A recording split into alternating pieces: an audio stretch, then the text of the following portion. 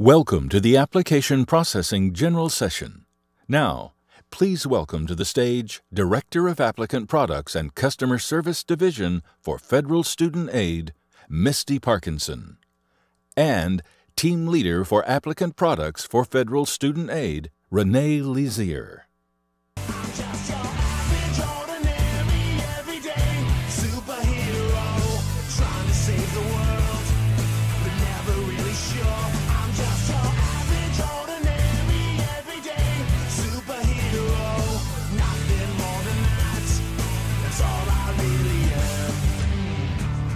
A day job that someone's got to do.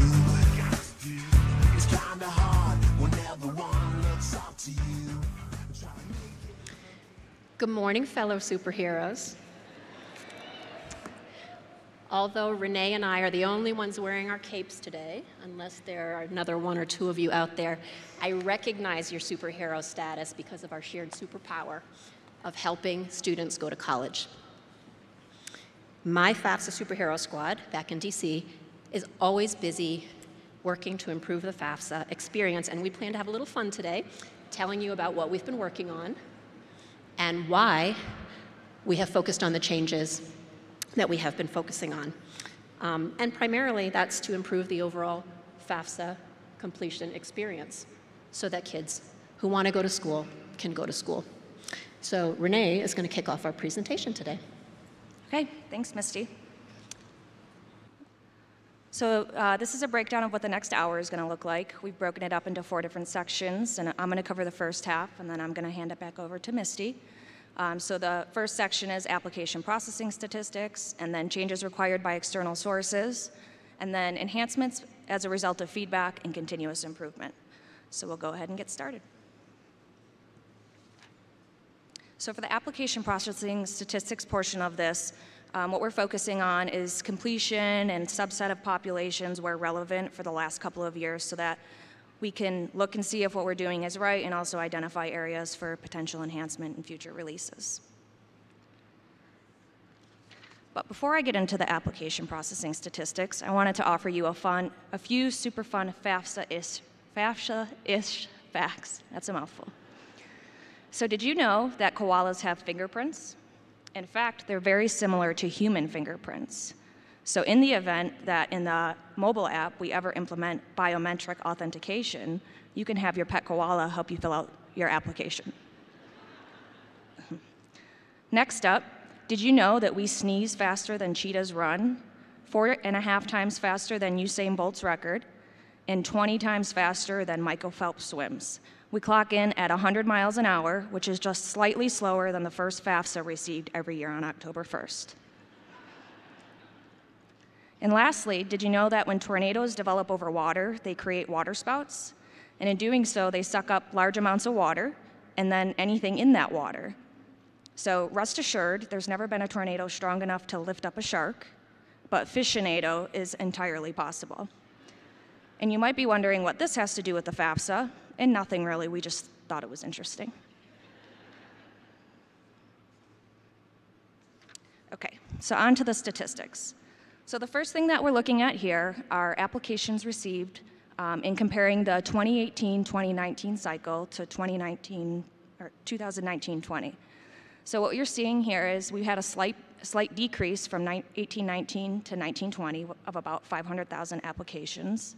Um, but rest assured, comparing the 1920 numbers to 2021, we're seeing an increase. So whereas from 1819 we saw a drop, 1920 to 2021 seems to be picking up by about 300 applications just for the month of October.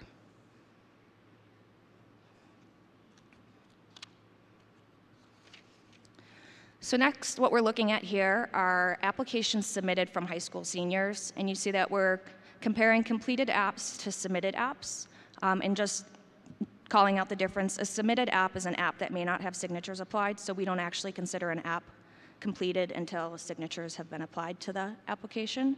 So looking at 1920 to 21, what we want to highlight is we're seeing an increase of applications submitted and applications um, completed. And our overall goal is to see all submitted apps become completed apps because we want the most people possible eligible for Title IV aid to get in there and you know get what we want them to have to help them with college. So next, we're looking at a table um, that's breaking down our applications by income ranges. Um, and so you can see we have it broken down by $10,000 increments. Um, and the left half of the table is focusing on 1920, and the right half of the table is focusing on 2021. And what you'll notice in looking at the two different years, there's no noticeable, no major noticeable changes between the income ranges in terms of percentage. Um, but you will notice that about 50% of our applications come from households with an AGI of less than $40,000. Additionally, you'll see about 25% of our applicants come from households with AGIs of less than 20, and another 25 are coming from households of 100,000 or greater, and then everybody else is following or following in between there.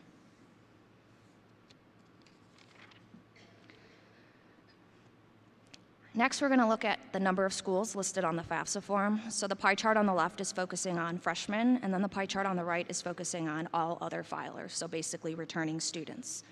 Um, and what the pie chart on the left is telling us is that about 75% of freshmen are listing more than one college on their application, which means they're using the tools we're offering, they're comparing their options, and they're not limiting themselves to one school, um, and more than one institution is getting their information. And conversely, the pie chart on the right is showing that only about 39% of returning students are listing more than one college, which makes sense. They're a returning student. Most likely they're attending the college they listed previously or potentially could be interested in another school.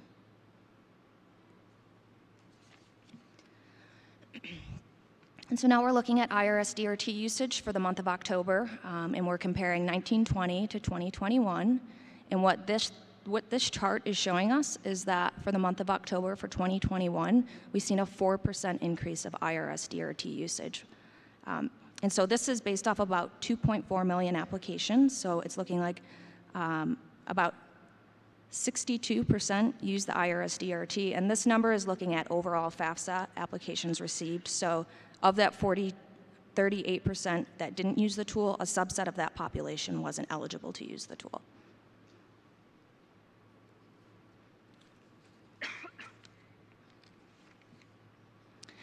Next up, we're looking at number of S&T applicant, applicants for the month of October. So you've heard a lot in previous sessions this week about the determination of S&T eligibility and how we've changed some logic based on the elimination of 1040 AEZ. Um, but what these numbers are showing us is that between 1920 and 2021, while we're receiving more applications to date for 2021, the numbers compared between the two years seem relatively consistent. So the number of students eligible for the S&T path um, has, has maintained.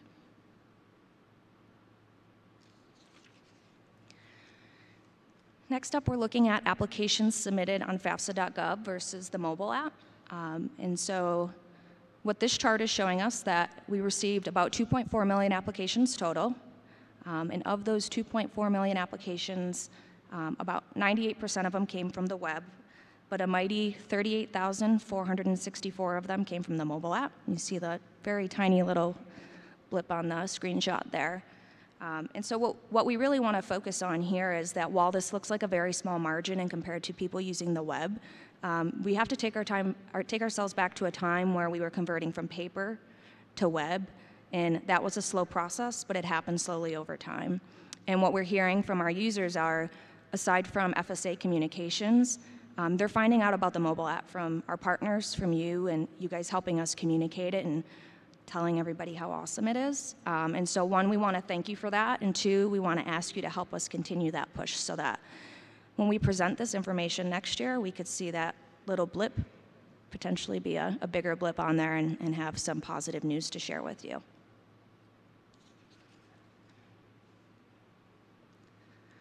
So this last piece of data I'm going to share with you is a snapshot of a weekly report we get. And so this report is focusing on My Student Aid app downloads. And so this report is looking at things like the number of weekly downloads, overall downloads, and then it breaks it down by operating system. So as of November 10th, we've had 1,438,151 mobile app downloads. That's pretty awesome. And 63% of those downloads were to Apple devices. And so one thing we wanted to point out here is while last year's early numbers, early downloads, we recognize were probably a lot of FSA downloads, our partners downloading it. We're all checking it out before we, you know we start sending people to it.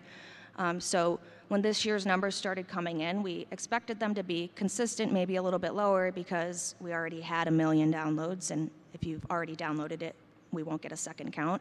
Um, but what you're seeing is at about mid-October, our mobile app downloads kind of picked up. So we're actually seeing an increase of downloads, which is probably a more realistic number of students and parents going out there and checking it out based on the good news that you guys are sharing with them.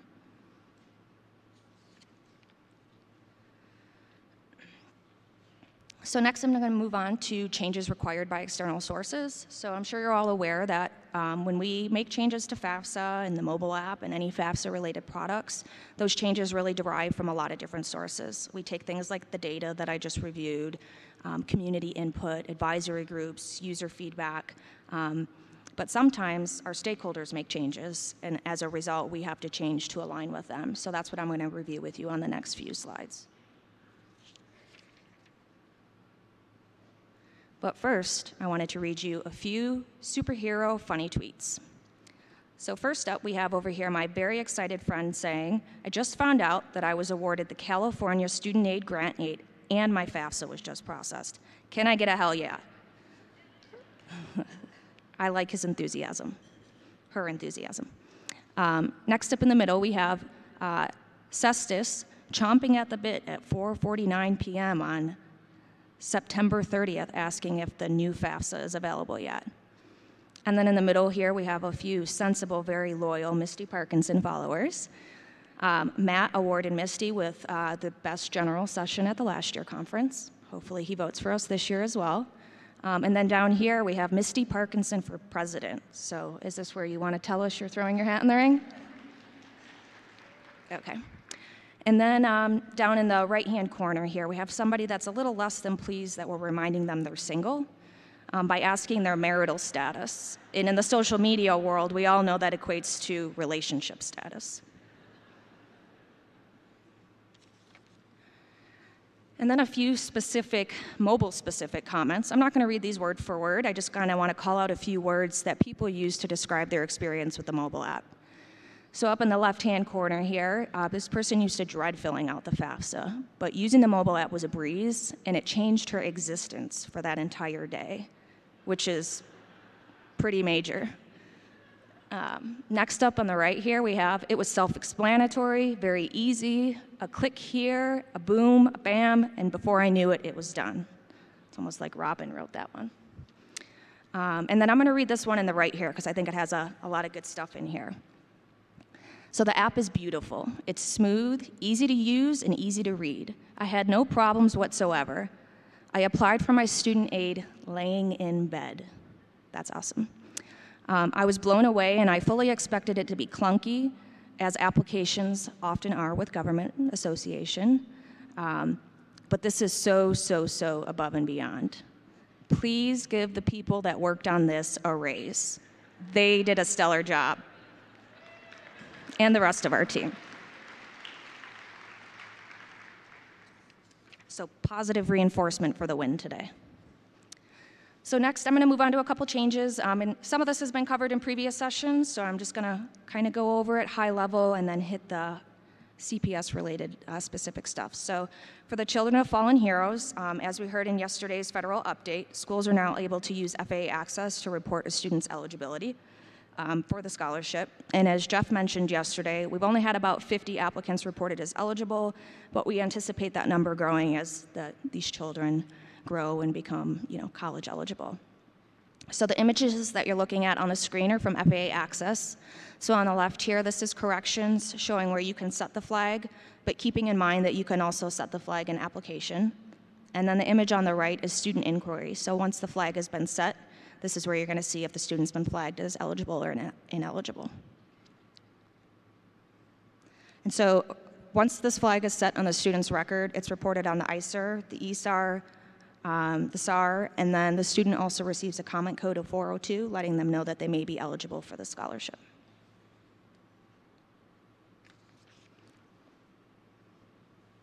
And if you'd like more information about the Children of Fallen Heroes, the COD um, common origination and disbursement system update, session number five, will have the information you're looking for. So there's a session later this afternoon and then again one tomorrow. We encourage you to check it out.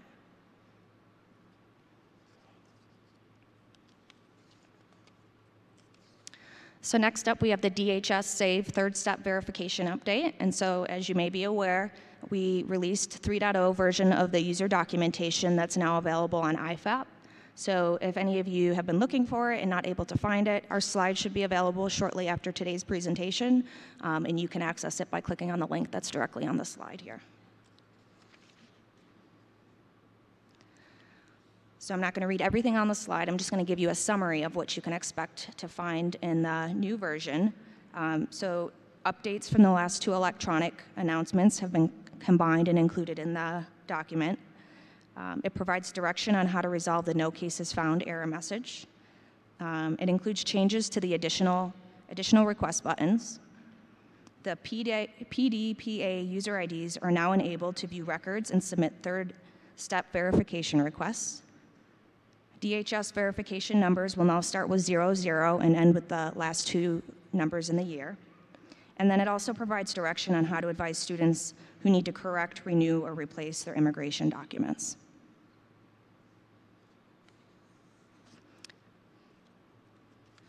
So after you've downloaded and had a chance to read the document, if you find yourself having questions or needing assistance, we've provided you with some guidance here on how to reach out and get additional information. So you can either email Application Processing Division at ed.gov or leave a message at the number on the screen. And in your email and or phone call, we'd like you to leave the following information. The student's DHS verification number, your name, your phone number, and then um, the question that you have in as much detail as possible. And then we put a little note up here also, calling the Save Center um, may not necessarily get you the assistance you need because they're not really aware of your unique system access. So we encourage you to start with APD.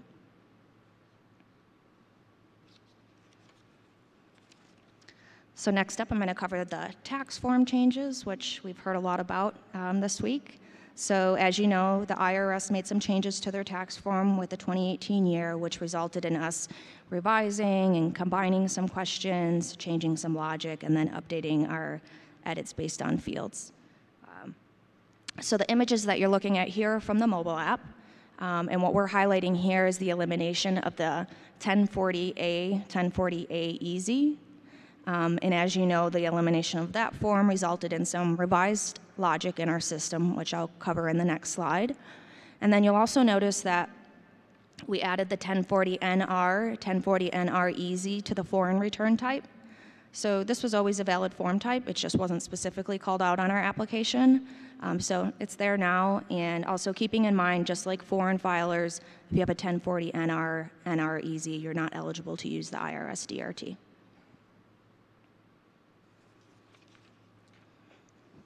Next up, we're showing you here um, the combination of the untaxed portions of IRA distributions and pensions. So we're just showing you the questions separated in 1920 and then combined in 2021, in addition to removing exemptions from the FAFSA form because it was no longer relevant based on the tax form changes.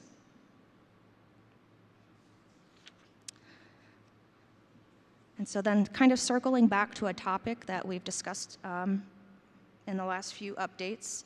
Um, as you know, the removal of the 1040A, 1040 Easy required us to develop um, a different solution for identifying S&T eligibility. And so, um, in the spirit of the Higher Education Act and ensuring continuity of the best um, experience possible for our applicants, we identified the Schedule One question as the best proxy to kind of carry carry forward um, that experience for our students.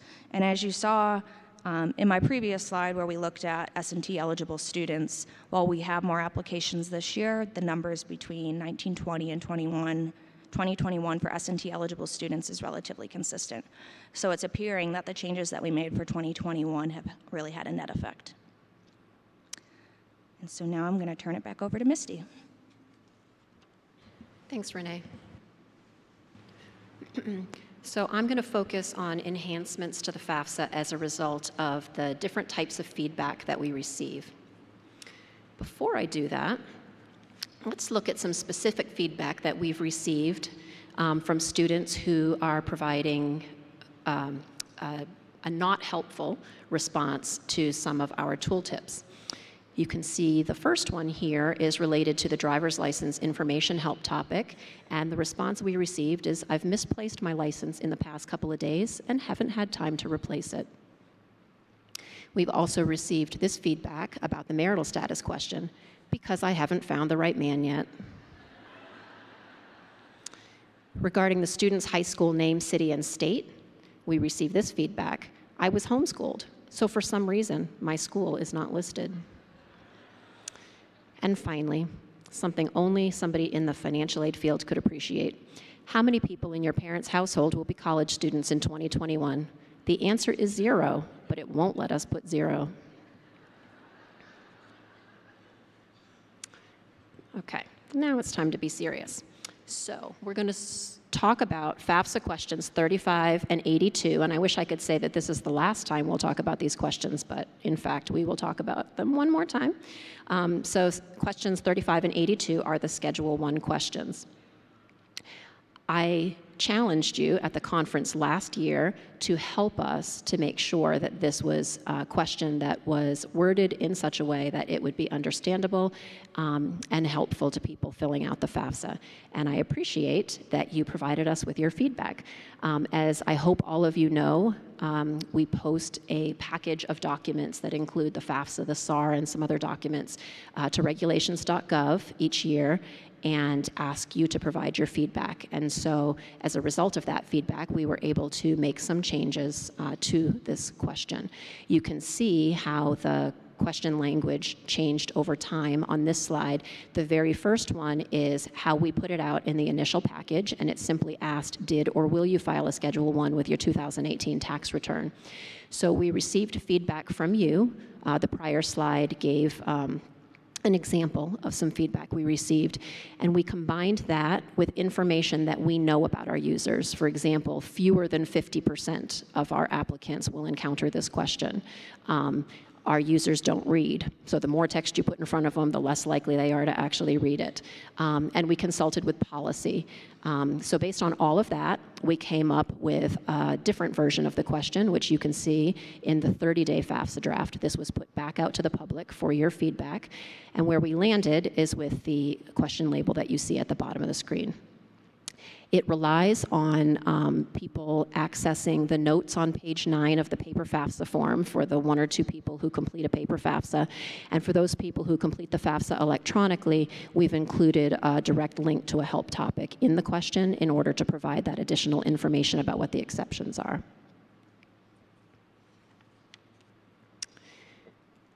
Another change that we made as a result of um, feedback and data is um, specific to FAFSA.gov. When we built the mobile app, we were able to um, apply feedback that we had received over time in order to create what we believe is a better user experience in the mobile app. Um, as a result, we unintentionally created a not so great experience for people who start the FAFSA in the mobile app and then complete it in the, on the website or vice versa. And our data shows us that of the people who use the mobile app, uh, 40% of them switch between the two. So they either start in web and switch to mobile or start in mobile and switch to web. And that 40%, um, those people do not have a good experience. What was happening is if they started in one, saved their data, switched over to the other, they had to start back at the very beginning. The data saved, but they had to navigate through all of the questions they'd already answered in order to get to the point where they left off. And the reason for that is because we um, put some of the questions in different locations in the mobile app. An example is the student marital status question, which was previously treated like a demographic question, but it's not really a demographic question, it's a dependency status question. So in the mobile app, we put it in section three, but on the website, it was in section one. And so we couldn't just take you where we wanted you to be because you hadn't answered all of the questions if you were switching from mobile to web. Um, so what you'll find now is if you start in one method and switch to another, it is much more seamless. Wherever you left off, you will pick up in the exact same spot.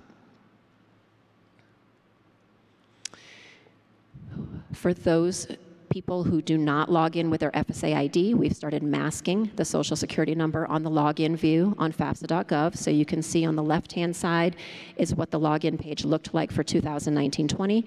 And then starting with 2021, you can see that when the social security number is entered, we automatically mask it, but there is a checkbox below the field that allows you to display it so that you can see what's entered. Um, for the record, we also mask the social security number in the mobile app, but we implemented that change earlier than startup.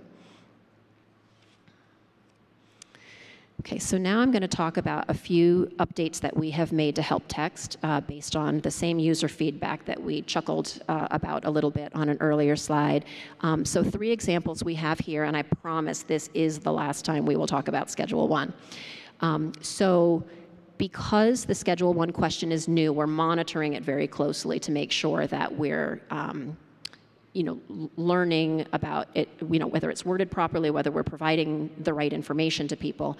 And so based on the feedback that we have gotten specific to our help text, we added this sentence in red to the existing help topic, which is basically telling people why they would file a Schedule 1, because that is the information that was missing for them. In addition, we have received feedback through our FAFSA survey that tells us that in general, people are confused about how to answer the financial questions, which is not surprising. Um, and we received many suggestions that if we could show what the tax return looks like, that people would more easily be able to find the answer that we're asking them to pull from the tax return and put in the FAFSA. So we think that's a wonderful idea, and I'm happy to report that we have implemented that change for just one help topic so far, and that is the Schedule 1 question. So this image is actually part of the Schedule 1 help topic. I believe we implemented that maybe two weeks ago, and we're now taking a look at all of our help topics related to um, financial questions, and we expect to be making similar updates to those. Um, but we will be monitoring the feedback that we receive um, to see if this was a change that uh, people have found to be um, helpful to them. Now, that particular help topic is not one that we get a lot of feedback about. Are you a preparer and create a save key are like the topics that people just want to know more information about. They're two of the topics that people access most frequently. So the Are You a Preparer question um, is surprisingly popular. We actually added some language to the FAFSA question that says, this is rare. And I guess people see that as a challenge, like, oh yeah? Let me show you. I'm sure this applies to me. And so they're accessing that help topic quite frequently. And the feedback that we have received indicates that, you know, we needed to be very clear. If you are the student, you are not a preparer. If you are not paid to fill out the form, you are not a preparer. Um, and so we added the language that you see in the red box here. Again, we'll be monitoring this to see if um, it has had the intended effect. And now let's take a look at the change we made to the create a save key help topic. So for this one, people just didn't understand that the save key was different from the FSA ID. And so we very clearly spelled out for them that in fact, it is not.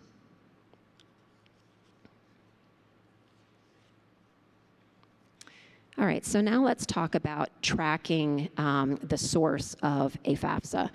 Um, currently, when somebody uses the mobile app to complete their FAFSA, we're tracking it as a web application. And you can see on the left-hand side of the screen, that is um, how you're currently seeing it um, on your ISIRs. That's how you would see it if you're viewing it in FAA Access.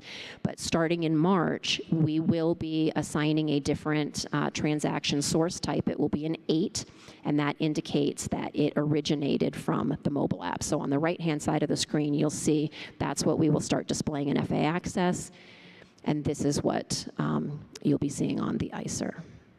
And so that will allow you, and that's based on feedback from you, that will allow you to be able to track those applications that came from the mobile app.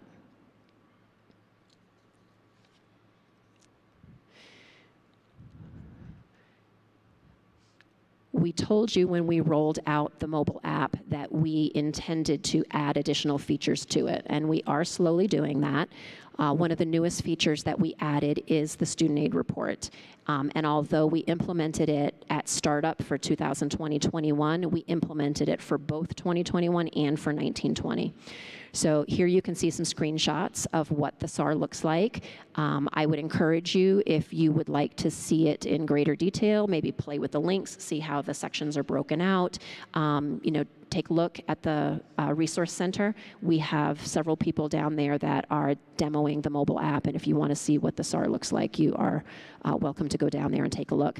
Um, the layout is different from what we have on the website, um, you know, and as we try to make further improvements to the SAR, uh, we would welcome your feedback. If you know what it looks like on the website, you know what it looks like in paper, you know what it looks like on the mobile app, tell us what you like, tell us what you don't, tell us what you hear from your students.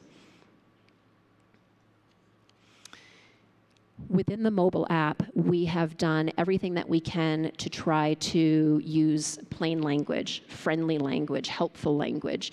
Um, we're somewhat limited in terms of the questions themselves, um, but the language around the questions, we have made um, a very large effort to try to make that language easier.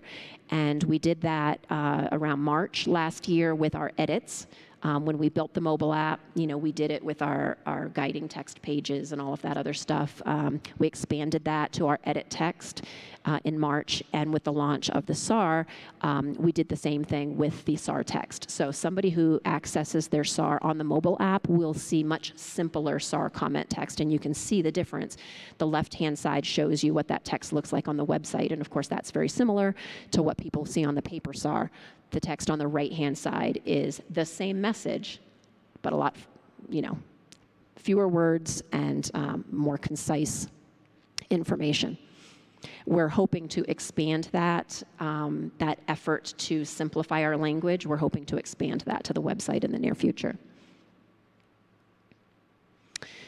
Obviously, and although this was feedback we heard loud and clear, it's also sort of a no-brainer, so this was something we just knew we had to do. When we launched the mobile app for 1920, it was just for 1920. And on October 1st, uh, we added uh, the new processing cycle. So for the first time, the mobile app uh, allows users to um, access their FAFSA, their SAR, for multiple cycles. So you can see on the left-hand side, this is what a user saw when they logged in um, to the mobile app prior to October 1st. They just had options related to the 1920 cycle, and now they have the two tab um, approach where we um, give them information about the 2021 FAFSA, um, you know, whatever their status is, whatever their options are uh, that are relevant to that cycle, and if they want to, you know, view their SAR or if they haven't completed their FAFSA yet for 1920, it's as simple as clicking on the other tab, and then they'll be able to do what they need to do there. This is one of my favorite success stories. So when we launched the mobile app, we were, you know, very excited about, you know, how it looked. I think this was one of the things that we pointed out we thought was really cool that people would be able to do the swipe signature, you know, because it's so modern and it's so cool and isn't that awesome? Um, and our students didn't like it. Um, as soon as we launched it, we started getting feedback right away. Uh, we got a lot of comments specifically related to the signature process and a lot of complaints. Um, and so we immediately took a look at what we could do in order to make improvements. Now, at the time, you know, when we first started receiving that feedback, we were receiving a customer satisfaction score related to the signature process of 81%, which is much lower than our overall customer satisfaction index for the mobile app. So we decided that we were going to not only um, address the specific feedback that we got related to the signature box, but just try in general to make the signature process much more simplified. Uh, for those of you who are not super familiar with the mobile app, you cannot get into the FAFSA unless you log in with your FSA ID. So we're talking about people who have already provided the authentication that constitutes the signature. So what we did is we eliminated a whole page and the entire signature process is now just on this one page. So they have the disclaimer statement, I'm sorry, not the disclaimer, the, uh, the terms and conditions. And then we float in their name down at the bottom. So they're certifying, you know, I agree to the terms and conditions. They, um, they mark that and then they go ahead and submit and bam, as some of our feedback says, you're done. So we implemented that change in April, and we immediately saw uh, a large decrease in the number of comments related to signatures. And our customer satisfaction index for signatures went from 81% to 92% immediately. And so that was a change that was very significant and very impactful. Um, and since then, we've been holding steady with the, um, the satisfaction score for signatures at around uh, 93%. So people are uh, consistently um, finding that the signature process is much easier than what it was originally. All right, so now I'm going to go back to feedback that we received during the public comment period. We have received feedback similar to this over the years, but one of the challenges we have with the public comment, um, the public comments that we receive is that people are happy to tell us what they don't like, but oftentimes they don't give us suggestions for how to make it better. And so it's, you know, sometimes, you know, we're able to come up with a solution and sometimes we just aren't. Um, so this feedback isn't necessarily new, um, but this year, along with the feedback, we received some suggestions for how to make it better. And so we were able to make some changes. So the questions are FAFSA questions 29 and 30, which combined are the ones that are related to, um, you know, your college status, what you're doing in college. And we have, you know, terminology in there that is graduate and professional. And we hear that, you know, high school students who are about to graduate high school latch on to that graduate term and they think, ooh, that's me. And then they take themselves out of the running for Pell because they have basically indicated that they're not an undergraduate student. So we received feedback related to FAFSA question 29, specific to that, although it didn't offer um, a solution for it. I'm going to jump ahead here. FAFSA question 30, similar feedback, but we got a specific uh, recommendation for how to address it. And so what we did is for FAFSA question 29, you can see on the left-hand side, um, we have the continuing graduate or uh, continuing graduate professional or beyond. On the right-hand side, you can see that what we did is we added in parentheses examples of what that means. Okay, so your um, advanced degrees. And then for question 30, same thing, um, and that's where we got the idea from, but we also added the word, um, sorry, college in the question itself. So you can see on the right-hand side what college degree. So we're hoping that those changes will help to address some of the challenges that you've been facing. And again, that's something that we would very much like to hear feedback on because we understand that um, either you or your applicants have had to make corrections to those questions in order to, you know, resolve the issue. Um, our data will show us if we're seeing a decrease in the number of corrections, but you know, we want direct feedback from you as well. All right, here's another one of my favorite success stories. So we heard from you um, through FSA Tech, but also at the conference last year, that starting with the 2019-20 FAFSA, you were seeing an increase in the number of students and parents that were reporting combat pay when they shouldn't be reporting combat pay. And so here you see some um, some um, feedback that we received through FSA Tech, but again, we heard it verbally from you as well. So we discussed a number of potential solutions, and we decided to go with something that really is um, is fairly simple. We took a look at the question itself, and we made changes to the language of the question. So what you can see here is um, how the question was previously worded. And then what you can see here is that we took some language that already exists in the um, application, the, um, the handbook, the FSA handbook, uh, and we incorporated that language in the question to be really clear that most people would be reporting zero here. We also included a hyperlink to the help topic for combat pay, and this is the language of the help topic um, that comes up. What has happened um, for the month of October as a result of those changes is we've had a 70% reduction in the number of parents that are reporting combat pay. We made the same changes to the student questions and we're seeing similar results. So we believe that we have made um, a very significant change here. Another change that we've made is um, in partnership with the IRS. Uh, as you have all heard many times, uh, federal student aid is uh, moving in the direction of, you know, mobile. Um, we have the mobile app, we have the the responsive uh, FAFSA website. Um, in both versions of the FAFSA, those people who were eligible to use the IRS data retrieval tool were having a horrible experience. They'd have to pinch, they'd have to zoom, they'd have to scroll up, they'd have to scroll down, they'd have to get the magnifying glass, and they would just have to try to make some sense of the page that came up so that they could authenticate with the IRS, get their data, and transfer it in. So, effective on October 1st, and this is the IRS data retrieval tool itself, so it doesn't matter how you're getting to it, uh, it now is mobile responsive. So you can see here what that looks like. Um, they get the, the government system warning, and then the next three screens you can see are um, the authentication page itself. So you have to scroll down in order to answer all the questions. Uh, most of them pre-fill with data from the FAFSA, um, but can be modified.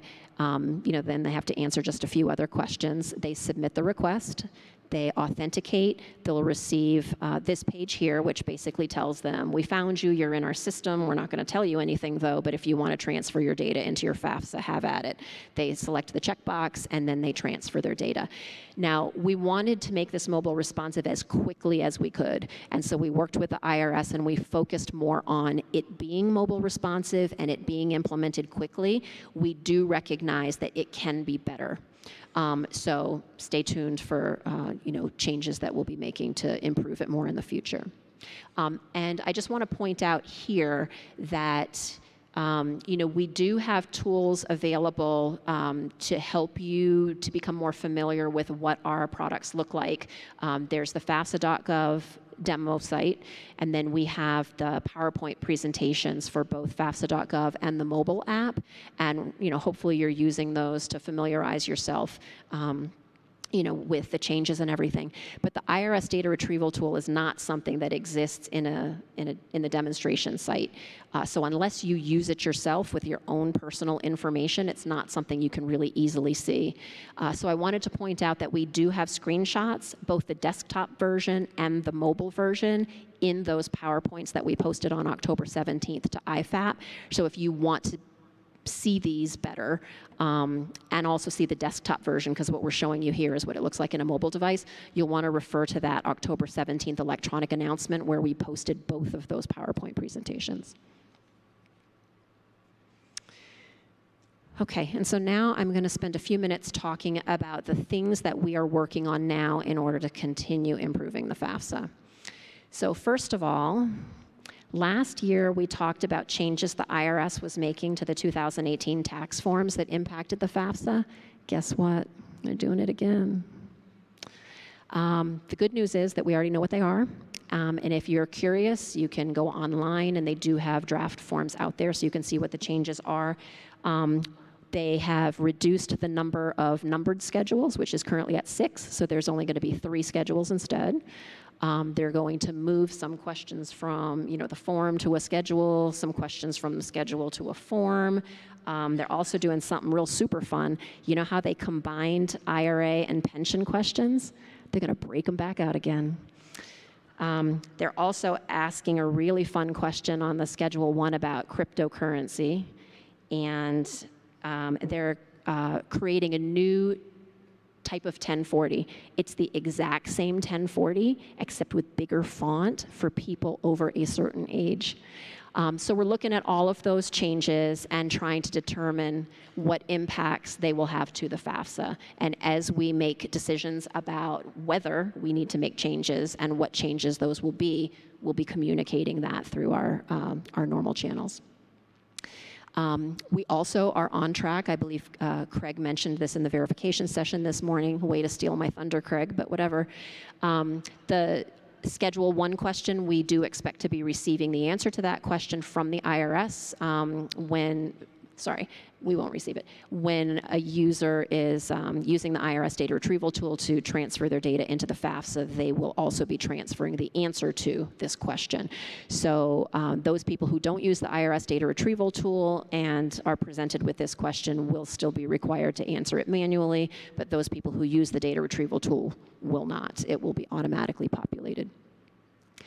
We continue to do uh, formal usability studies, and I wanted to just cover a few of the topics that we plan to be doing some usability on.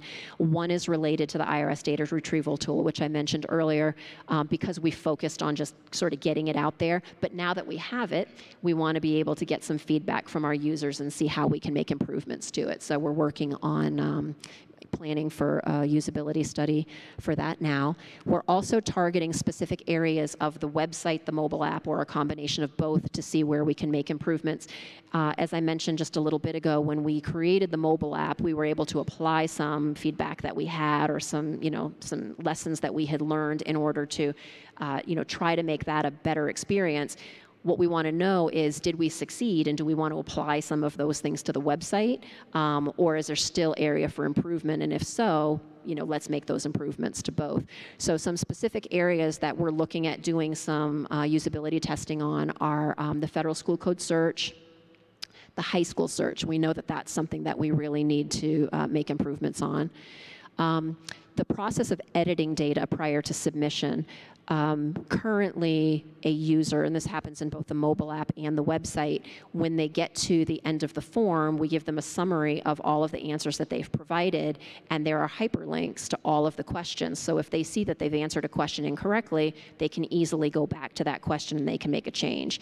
I say easily because I know how it works, but if people, you know, recognize it's a hyperlink, they can go back, they can answer the question. But what do you do from there? It's not so easy for people to understand. And so we want to try to create a better, more intuitive process because, you know, sometimes people make mistakes or when they see all the data together, they realize, well, yeah, I think I probably got that wrong. And it's not that easy for them to go back and make uh, changes before they submit. So that's something uh, that we want to take a look at. We're also looking at the concept of the FAFSA parent, which we introduced in the mobile app, and we want to get some feedback on that and see if that's something that we want to apply to the website in a similar way, or if there's you know a different way that we want to tackle that. Um, also, the household size.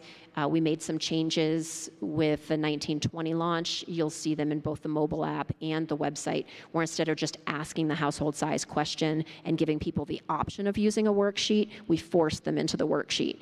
Um, and we want to take a look at that. You know, has it been effective? Are we getting the right results? Is it still confusing for people? Um, we're also looking at the number in college question. That's another one that people struggle with. You saw the, the comment um, on the earlier slide. Uh, you know, are there conditions where we can assume a number? Um, and if so, do we want to do that, or does that make it more confusing? Uh, do we want to create a worksheet like we have for the household size? Do we want to leave it alone? Do we want to do something completely different? Um, and then just generally, we want to look at the login process on the website. So for the mobile app, you're required to log in with your FSA ID, and we allow you to tell us your role. Are you there as a student? Are you there as a parent? Are you there as a preparer? We don't have any of that on the website, and so we want to look at what we want to do on the website. I will say that a true roles-based solution solution is something that is not a short term solution, something we have to work towards, but we want to be working towards it instead of just waiting until we can do a whole big bang thing. So we're going to be doing some usability uh, testing on that and focus groups in order to learn more. All right, so, you know, I want to point out that although Renee and I are privileged to be up here telling you about the updates we make, we don't do this work by ourselves. There are a lot of people that we work collaboratively with within federal student aid as well as external to federal student aid. Um, you know, so I want to recognize, you know, everybody, uh, and that's a that's a gigantic group of everybody's. Um, but I do want to introduce you to our team. Um, in addition to me and Renee, uh, we have Zelma and Cameron and Jonathan and Kim and Manal and Becca. Manal and Becca are actually here at the conference this week, so if you want to stop in and say hello, they are in the Resource Center demoing the mobile app. So if you haven't had a chance to see the mobile app, please stop by and say hello. Um, so this is what we all look like in our superhero costumes, which is how we walk around the office, you know, pretty much all the time. But this is what we look like when we're not in our superhero costumes, but we still look totally superhero-y. Yes?